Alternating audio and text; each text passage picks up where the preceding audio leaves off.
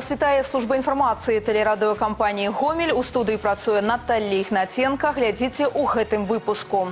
Эканамічная сітуацыя ў рэгіёне паляпшаецца. Аб гэтым і не толькі ішла размова на пасяджэнні аблвыканкама. Першы снег у Гомелі ці паўплывала нехарактэрная для кастрычніка з'ява на дарожную сітуацыю.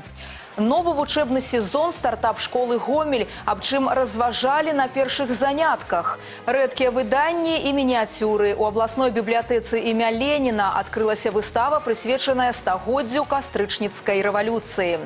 А зараз аб гэтымі не толькі больш падрабязна. Па выніках 9 месяцаў на Гомельшчыне адзначаецца рост усіх асноўных паказчыкаў эфектыўнасці работы рэгіёна. Такая інфармацыя была агучана на сённяшнім пасяджэнні аблвыканкама. Разам з тым толькі на дасягненнях вырашылі не спыняцца. З эканомікай вобласці азнаёміўся Алег Сенціроў.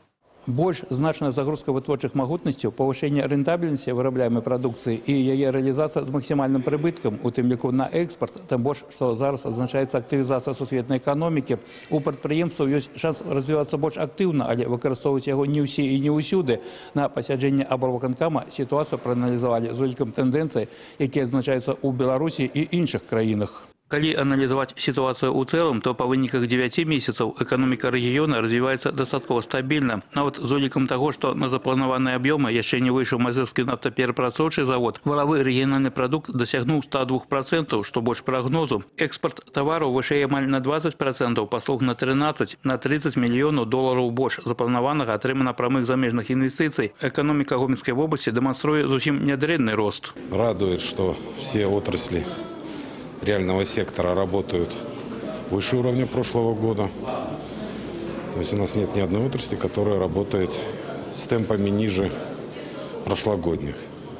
Промышленность постепенно развивается 105,1% темп просто промышленного производства. Это с учетом того, что МНПЗ еще не вышел на прошлогодний уровень.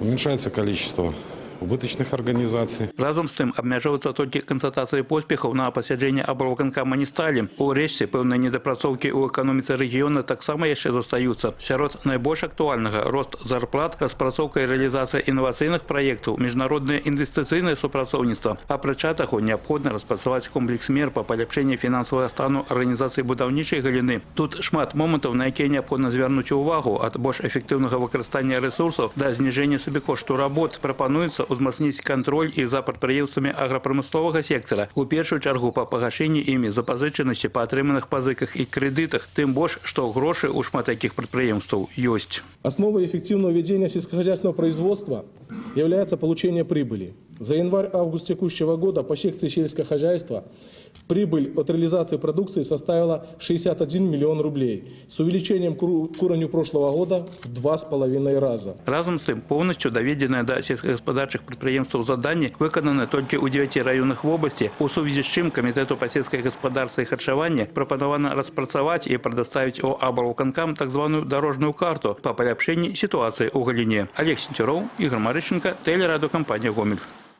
Кукуруза на зерне ў гомельскай вобласці ўбрана больш чым на палове плошчаў, абмалочана каля 27 тысяч гектараў. Агульны намалот склаў каля 190 тысяч тонн пры сярэдняй ураджайнасці 69 цэнтнераў з гектара. Лідарства ўтрымлівае Мазырскі раён. Тут ураджайнасць 102 цэнтнеры з гектара. Доля плошчаў адведзеных пад кукурузу на зерне больш за 40 процентаў у маштабе краіны. Гэта падкрэслівае не толькі асаблівасць кліматычных умоў рэгіёна, але і значнасць культуры ў фарміраванні кармавой базы жывёлагадоўлі. Плануецца сабраць ураджай больш за 300 тысяч тонн, што дазволіць поўнасцю забяспечыць патрэбы вобласці. У першую чаргу ён пойдзе на выраб канцэнтраваных кармоў для свінагадоўчых комплексаў і птушкафабрык. Сёння на Гомельшчыне выпаў першы снег. Па словах сіноптыкаў, для кастрычніка такая з'ява дастаткова рэдкая. Аднак у апошні час пачынае станавіцца звычайнай для рэгіёна. Цікавы факт у тым, што летась першы снег таксама выпаў 26 кастрычніка. Зараз такая метэаралагічная з'ява нечаканасцю для жыхароў вобласці не стала.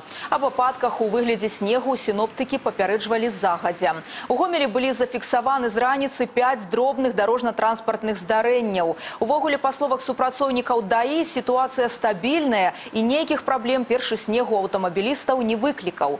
У бліжэйшыя дні на тэрыторыі Гомельшчыны прагназуюцца невялікія дажджы. Такі характар надвор'я павінен захавацца да канца тыдня. Тэмпература паветра ў гэтыя дні днём плюс 9, ноччу плюс 5. Стартап-школа «Гомель», якая працуе на базе Центра бізнес-адукацыі гандлёва-эканамічнага універсітэта спажывецкай кааперацыі, запустила другі вучэбны сезон. Ён стартаваў з бясплатнага майстар-класу ад бізнес-трэнера і кансультанта па капірайтынгу. Стартап-школа «Гомель» працуе з лютага гэтага года, і яе адкрытыя майстар-класы ўжо наведалі 170 чалавек. Само навучанне праходзіць у фармаце інтэнсіву па праектаванні і запуску бізнесу. Кансультантамі выступаюць паспяховыя беларускія бізнесмены. Удзельнікі тыя, хто маюць бізнес-ідэю для рэалізацыі, але пакуль не валодаюць дастатковымі ведамі. Першы майстар-клас восеньскага сезону быў прысвечаны прасоўванню свайго бренда з дапамогай тэксту і без дадатковых укладанняў. Бізнес-трэнер і майстар НЛП распавяла слухачам, з якімі стратэгіямі можна выйсці на рынок і як прыцягнуць мэтавую аўдыторыю. Это называется личный бренд. Когда вы сами создаете для себя поток клиентов. И эта тема, она будет, я думаю, интересна всем. И новичкам, которые могут на старте заняться развитием личного бренда и привлечь внимание к своему продукту. И для тех, кто уже достаточно давно продвигает свои продукты на рынке и может, используя эти технологии, повысить количество клиентов, повысить стоимость, повысить интерес к своему продукту в том числе.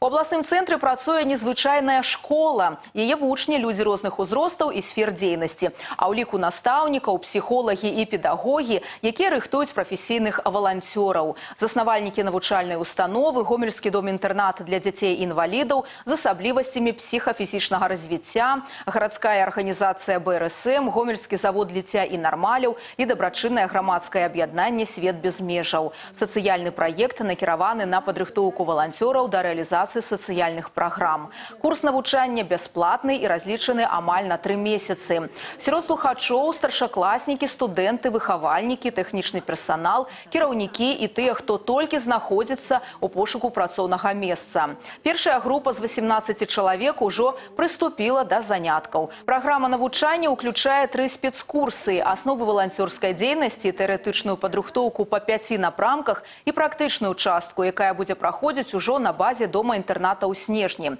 Заняткі ў форме семінараў, трэнінгаў, творчых мерапрыемстваў, тэматычных гульняў і дыскусіі. Завершыцца навучанне выніковым семінарам, на якім вучням трэба будзе здаць экзамены.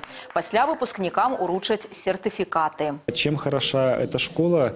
То, что молодые ребята э, еще никогда не пробовали, не пробовав себя в роли волонтеров, они э, смогут уже э, быть подготовлены к тем э, моментам, которые зачастую становятся камнем преткновения между э, человеком, который хочет оказать э, помощь, и человеком, которому она необходима действительно.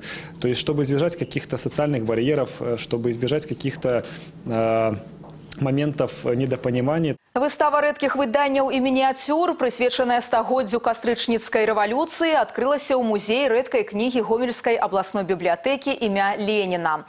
На тэматычнай выставе прадстаўлены не толькі рэдкія і мініяцюрныя кнігі, прысвечаныя рэвалюцыі і яе правадырам, але і някніжныя матэрыялы. Гэта паштоўкі з віншаваннямі, маркі, ганаровыя дыпломы і граматы, грашовыя знакі перыяду першай сусветнай вайны і савецкіх часоў. Сярод самых старых экспанатаў газавая лямпа лампа, друкарская машинка и патэфон. Прадстаўленыя ў выставачнай зале мініяцюрныя выданні 60-х гадоў выпускаліся спецыяльна да юбілеяў Леніна і рэвалюцыі або ў рамках ідэалагічнай работы для стварэння станоўчага вобразу камуністычнага руху. Собрание сочинений э, Ленина э, имеет на своих страницах факсимили его рукописных записей, документов, обращений. Есть э, книги э, э, замечательных деятелей, таких как э, Ворошилов или Орджоникидзе, на страницах которых также имеются факсимили рукописных записей или писем, переписок. Бесподобная, красочная, яркая э, коллекция миниатюрных книг, которых в общем можно назвать э, лениниана. Это э, все произведения, посвященные Ленину. Для гостей музея рэдкай кнігі дзейнічае інтэрактыўная праграма і фотазона канспіратыўная кватэра, дзе кожны можа адчуць сябе сапраўдным рэвалюцыянерам у падполлі. Гэтыя, а таксама іншыя навіны навіны вы можете знайсці на нашым сайце ў інтэрнэце па адрасе www.цвяргомел.бівай. Далей у эфіры спартыўны агляд з навінамі спорту вас пазнаёміць мой калега Максим Савін.